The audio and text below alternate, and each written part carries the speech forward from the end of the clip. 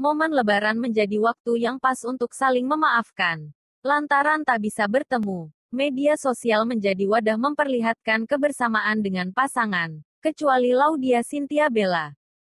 Ya, Laudia Cynthia Bella mengunggah foto di akun Instagram terverifikasi miliknya, Senin, tanggal 25 Mei tahun 2020. Tak lupa, ia juga mengucapkan selamat hari raya. Happy Eight from Ors, and my favorite bag and scarf at cost to you.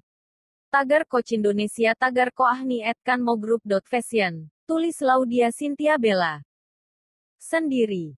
Namun, lagi-lagi Laudia Cynthia Bella memperlihatkan foto dirinya tanpa sang suami, Engku Emran. Ia duduk beralaskan karpet, seorang diri. Jadi sorotan. Kesendirian pemain film Ambu dan Aisyah, biarkan kami bersaudara ini menjadi sorotan para warganet. Mereka menanyakan keberadaan